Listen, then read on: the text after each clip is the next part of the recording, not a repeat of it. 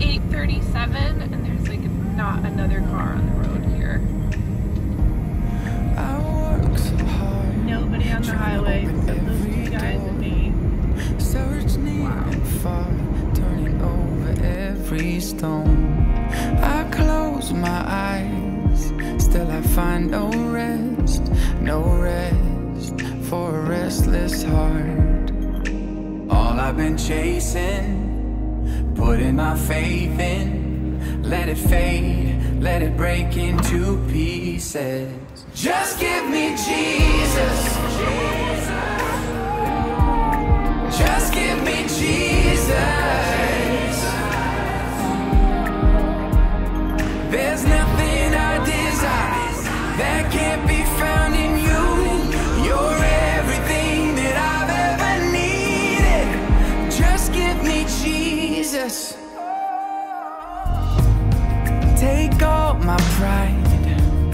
My dreams, my plans. This house I built on troubled sand. If I gained the world, it would never be, it could never be enough. Just give me Jesus. Just give me Jesus. There's nothing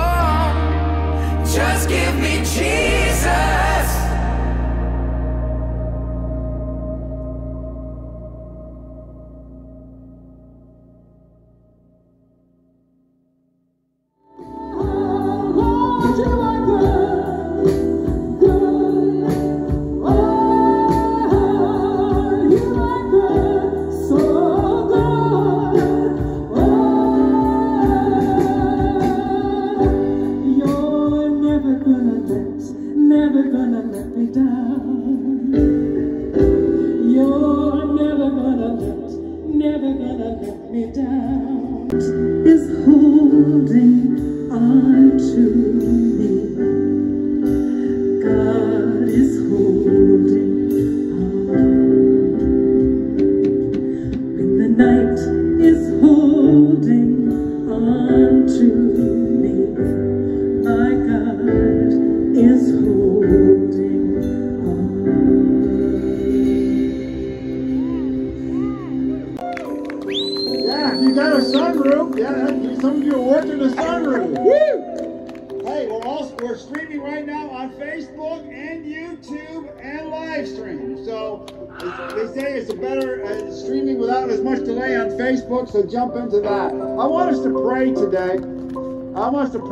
every person has this virus that God would heal them.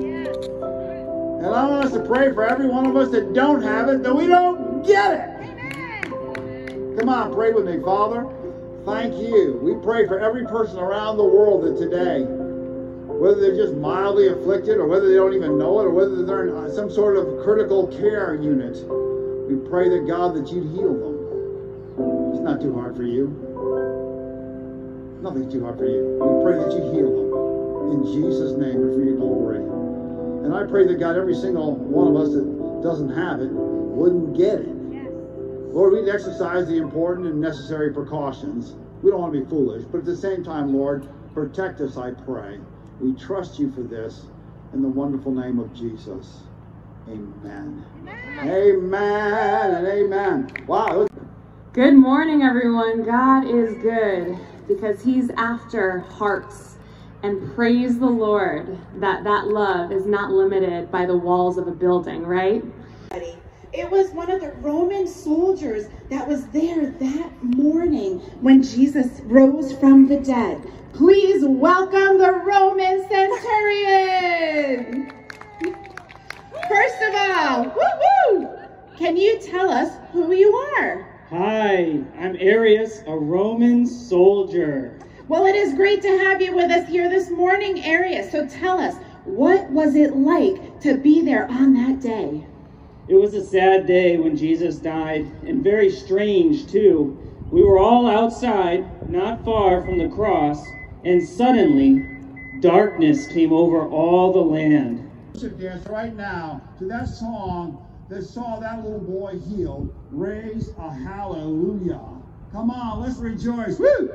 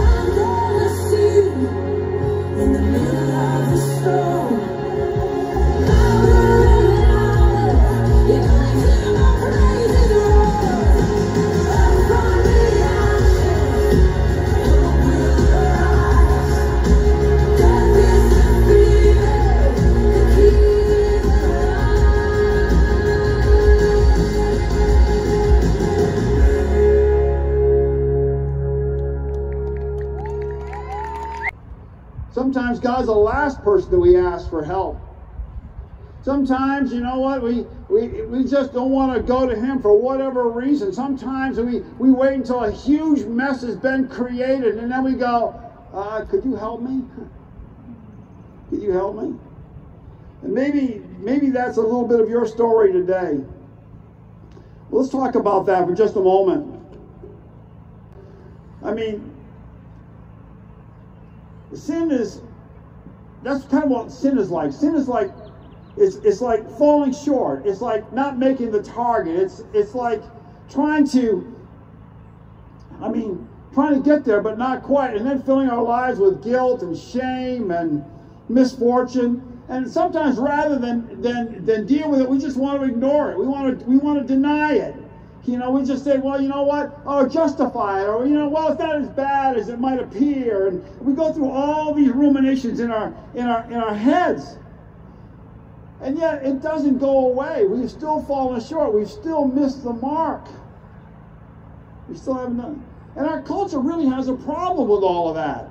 You know, our pro, you know, our culture wants to give us deep psychological reasons as to why we are the way that we are. And sometimes it says it like this. It says, well, you know, your parents didn't, and your community didn't, and you didn't have the opportunities, and the system failed you, and you didn't have the right education, and and and and and and, and, and, and. All of that might be partially true. But it doesn't get you to where you need to go. It becomes just an excuse that keeps you locked in place. You see, friends, the, word, the Bible has a word for, for that. It's called sin. It, what does that word really mean? It means to miss the mark, not hit the standard, not to hit the target. Or maybe another way to think of it is like this. I don't know if you've ever looked at Pinterest, and many of you have, you're very avid fans. I'm not, but I have seen enough of these interesting things about Pinterest fails. Have you ever seen those? There's a picture of what it was supposed to look like, and then there's a picture of what it really looks like. And there is a wide divergence in all the pictures I've ever seen. I mean, some epic fails. You know, I mean, it's kind of funny when it's on Pinterest, but it's not funny when it's in your life. You know, but you know what? Sin is missing becoming what God intends for you to be and to experience the amazing life that He has for you. That's what sin is. But sometimes sin is more than just, oh, I made a mistake. Sometimes sin is like hardcore rebellion. It's, it's resisting God. It's, it's having God reach out to us continuously, and we just simply go, no, no, no, I got this. I'm, I'm the captain of my own destiny. I can handle my own fate. I'm in control. Thank you very much. So sometimes sin is like that. It's like that. Sin can be a powerful thing. It's a, the Bible calls it a transgression. It's a looking at the line and going, you know what, those lines, they apply to other people, they don't apply to me. That's what sin often is. And some, sometimes sin is trashing relationships just out of pride and selfishness, violating another person that maybe we claim to care about and love. That's what sin can be, friends. It's a powerful thing. Sin has a tremendous power. I don't know if we really understand the power of sin and why we need someone to help us overcome it because sin, uh, let me tell you what it does. It's an amazingly subtle and deceptive thing. It tells you at the same time it's not hurting you it's no big deal and you can stop at any time. At the same time, it's creating a desire within you for even more. That's the power of sin. And you can't break that in your own strength. That's why you need a Savior. That's why you need someone to help you break the power of sin. Because if you don't, it's going to be game over. It's going to be game over, friends. This guy knew what it looked like to be game over. He was a follower of Jesus, but he wasn't just any follower of Jesus. I mean, this guy had walked with Jesus for three years, shoulder to shoulder, had been with him through every kind of scenario possible. And yet, he epically, spectacularly fails in a crisis hour. People turn to him and on that night that Jesus was betrayed and they go, Hey, hey, hey, hey, you're one of them followers of Jesus, aren't you? Ah, oh, no, it's not me, dude. That ain't me. And he doesn't do that once, he does it three times. Peter denies Jesus three times. I mean, I don't know if it gets worse than that. I, I really don't know.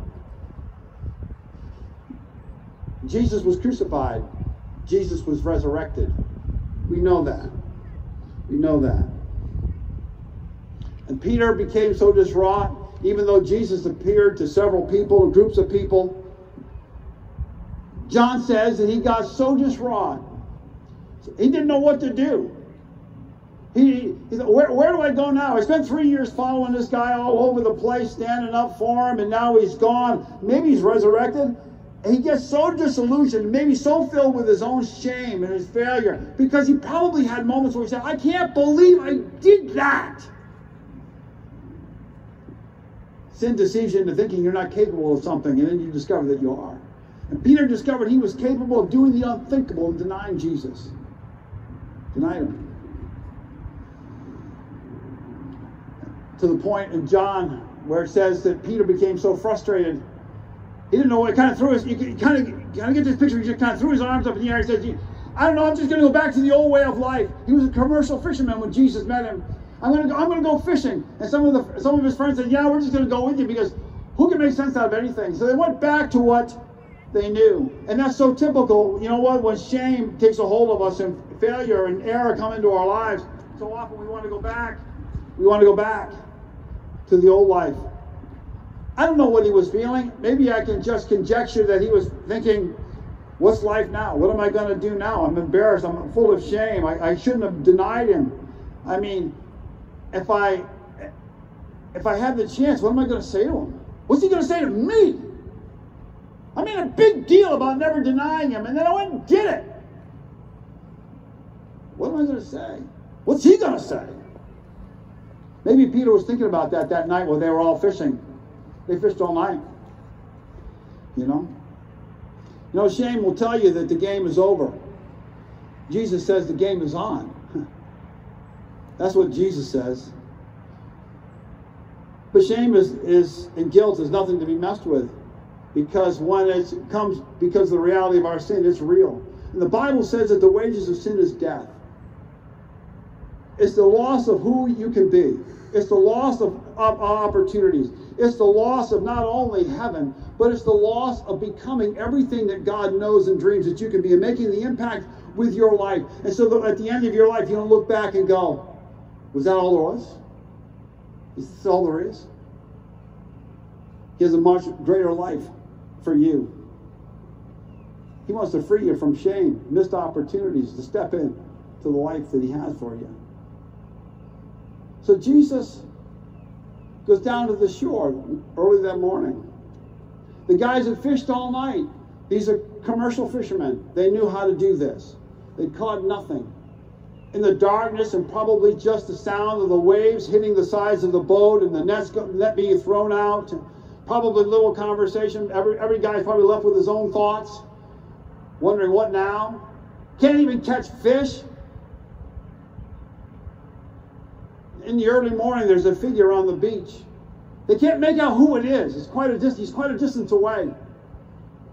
And suddenly the voice rings out from this solitary figure on the beach. Catch anything? The guys yell back, no. And then they didn't even know really who it was yet. The solitary figure on the beach says, hey, take your net, throw it on the other side of the boat. Now that's the most ridiculous thing you can think of. These guys had fished all night. They knew what they were doing. That boat was only probably no more than 12 feet wide. If that. Throw the net on the other side of the boat. Yeah, sure. But somehow they do it. And they begin to catch a huge haul of fish. John even numbers it 153. Huge. And then John, the writer of the book, turns to Peter. These two guys had run to the tomb days before and discovered that Jesus wasn't there. Peter still couldn't figure out what was going on. And John turns to Peter and goes, It's the Lord. And Peter, in his typical impetuous style, jumps out of the boat and starts making his way a hundred yards to the shore. Leaving all the rest of the guys full of fishing. But they get the fishing and they make their way. And as, they, as Peter gets to the as Peter gets there, he notices that Jesus has a fire going, and finally the guys get there. And Jesus cooks them breakfast. I'm a fish and bread. I wonder what that fish must have tasted like.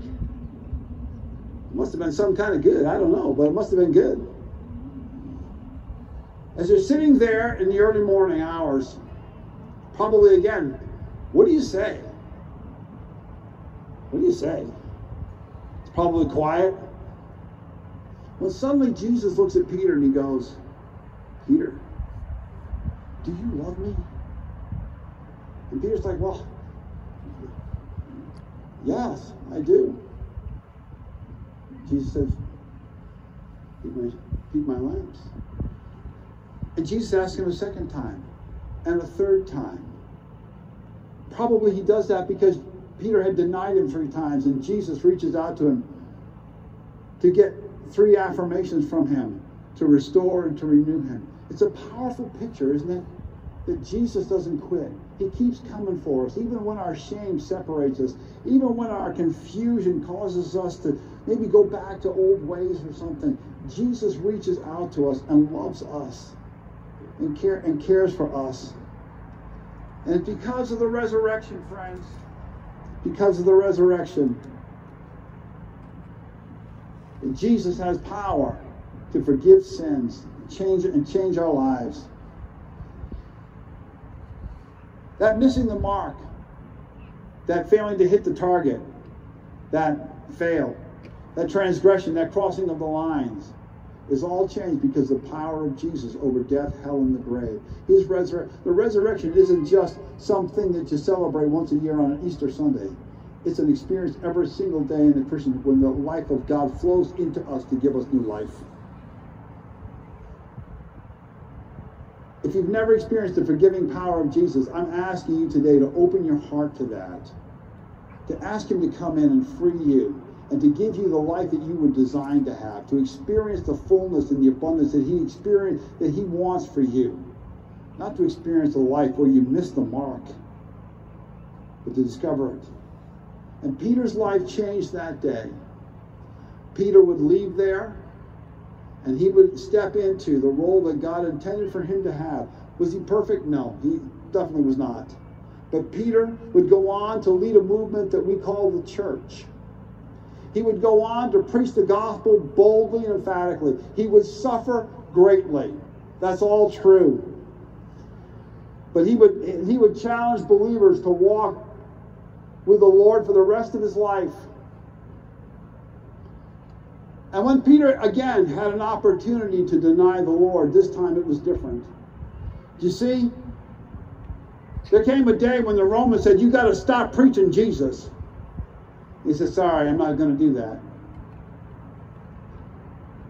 And they subjected him to the penalty for preaching the gospel crucifixion. And when they went to crucify Jesus, tradition tells us that Peter said, Don't crucify me the same way that you crucified my Lord. Crucify me upside down because I'm not worthy of that. And tradition and history tells us that that's exactly what happened. The same guy years before had denied the Lord. This time was crucified for him, refusing to deny him. Wow. The power of the resurrection can change your life and do it dramatically. But you got to open your heart today. I'm getting ready to close. I, I hope that the same Jesus is just as alive today as he was then. And he's waiting to you and calling out to you, asking you to step in, asking you to ask for forgiveness, asking you to embrace the good news, asking you to step in and to experience the resurrection power. Because you know what? It was love. While we were yet sinners, Christ loved us, died for us, and gave himself for us. The band, I'm going to ask the band to come back right now. We're going to close. Did you see everybody sticking their heads out of there somewhere? How's that? That'll work. Right? Yeah. Just a little something. Yeah, it had something.